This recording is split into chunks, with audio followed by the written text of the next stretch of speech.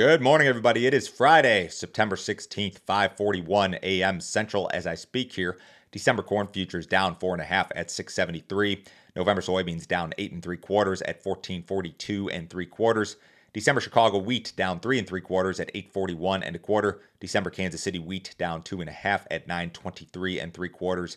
December spring wheat down two and a half at 926 and a quarter. If you guys are listening on the podcast, as always, appreciate it. Leave me a rating or review on that Apple Podcast app if you wouldn't mind. If you're watching on YouTube, subscribe to the channel hit the like button, leave me a comment. All of those things will help YouTube to help me to grow this channel. If you'd like some additional information from me, guys, go to my website, www.standardgrain.com. Check out my premium subscription service today. I send my premium subscribers a ton of information direct from me every single business day.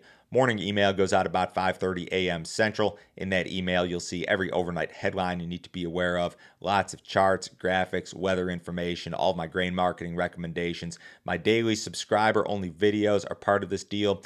Yesterday, I did a mailbag video, and in these mailbag videos, I take uh, a whole bunch of subscriber questions uh, from the prior, say, seven to 10 days and uh, try to discuss or answer them. Uh, the, the big one and probably the most popular question, or the one I had the most feedback on, was how aggressive should a young farmer be with 2023 grain sales? I had one subscriber write in, he said, Joe, you know, I'm a younger farmer, I've got a lot of debt, I don't have storage. Uh, what should I be doing for 2023? So I tried to answer that question in addition to some other stuff regarding uh, rolling HTAs for November, uh, soybeans, December corn, also some balance sheet work. We ran some different yield scenarios. Uh, this was like a 20 minute video. There's a whole bunch of stuff in here. If you guys are interested in this sort of content, sign up today.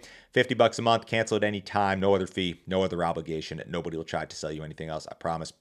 China will reportedly impose sanctions on the CEOs of U.S. defense companies. Reuters reports this morning that China will sanction the CEOs of Boeing Defense and Raytheon over their involvement in Washington's latest arms sales to Taiwan, which was approved earlier this month. The sales included a bunch of anti ship missiles and air to air missiles. A Chinese foreign ministry spokesperson said this.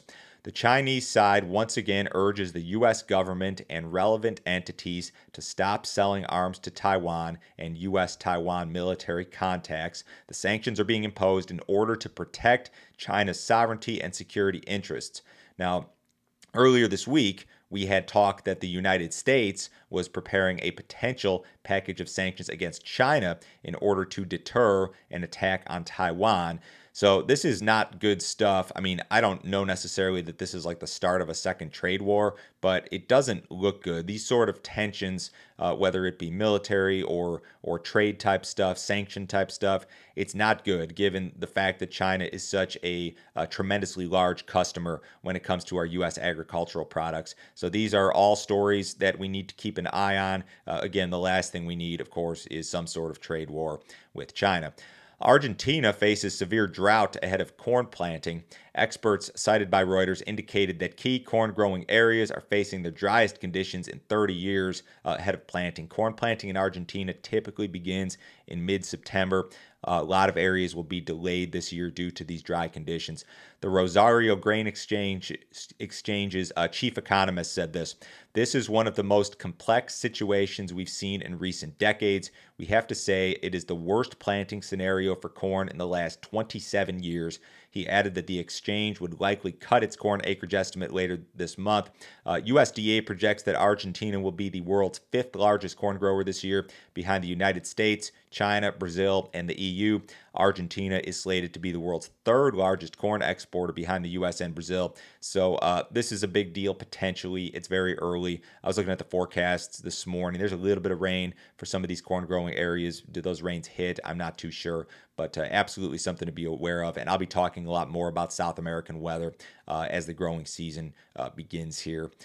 NOPA's August soybean crush number was pretty close to expectations. Members of the no- National Oilseed Processors Association, or NOPA, crushed 165.5 million bushels of soybeans in August. That was slightly below the average trade gas, which was about 166. Uh, this print was down 2.8% versus July, but up more than 4% versus the same uh, same month last year. So soybean processors, j- just like when it comes to ethanol production, soybean processors will typically accelerate output in those post-harvest months, October, November, December, uh, into January. Those are your best months. So right now we're kind of just waiting on harvest deliveries, and you should see. Um, uh, soybean crush accelerate quite a bit here over the next uh, six to eight weeks or so. U.S. drought remains active. Uh, U.S. corn areas experiencing a drought total 30%. That number was also 30% the same week last year.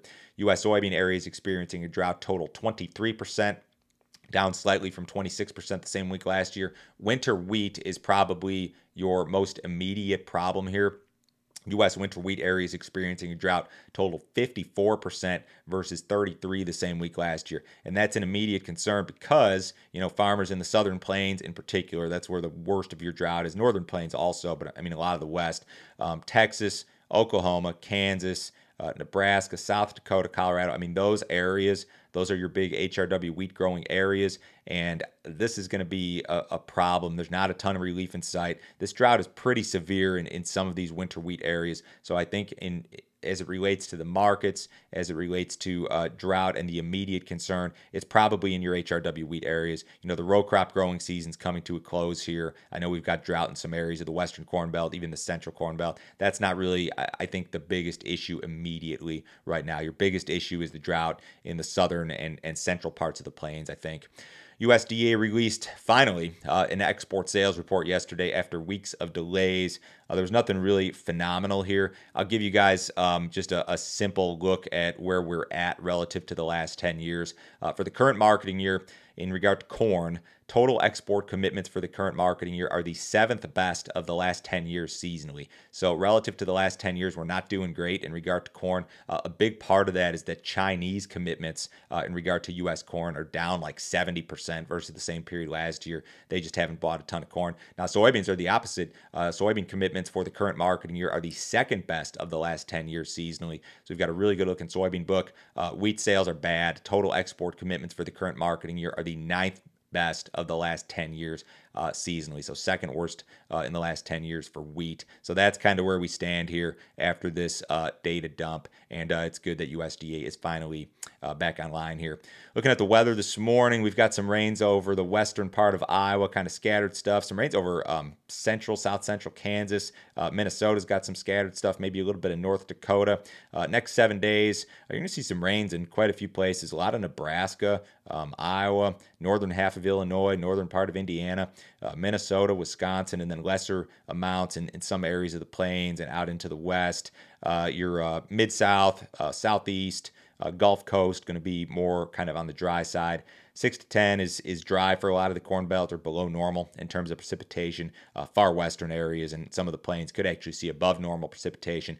Temperatures um, above normal to normalish. Uh, we're not going to see any early frost or uh, anything this year impact the crops the way that it looks. The cattle market uh, finished the day higher in live cattle yesterday and mostly lower in feeder cattle. Cash cattle was 140 to 142 in the south yesterday, 143 in the north. Uh, we'll see what develops today.